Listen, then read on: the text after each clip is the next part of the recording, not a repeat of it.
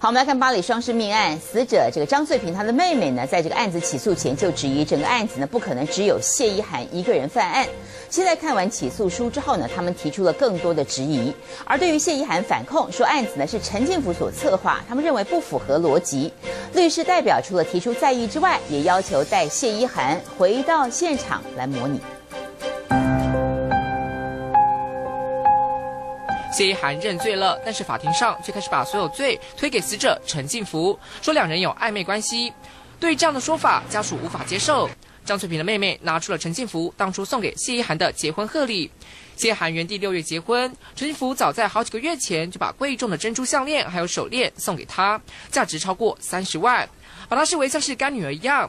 家属反控，如果真的有什么不正当关系，还会送礼物祝福吗？这不符合逻辑。又把陈进福杀掉。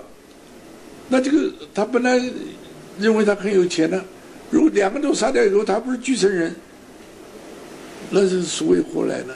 提出质疑的就是法学博士王可富，他的妻子也学佛，和张翠萍的妹妹有认识，因此担任他的义务律师。模拟这个结果呢，就会知道他的形色如何，他的态度如何啊？如果说真真是他杀的话呢，那他非常很清楚的。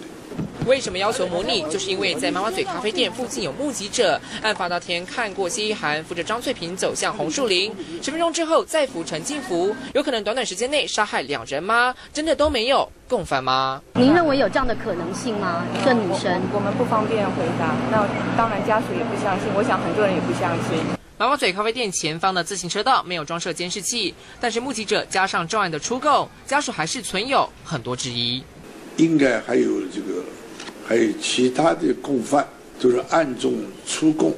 家属对于红树林生命案第一现场有问号，谢涵一人独自犯案有质疑，罪推死者无法接受。虽然案子起诉了，但是还是存有很多质疑。这是我的收讲，台不到。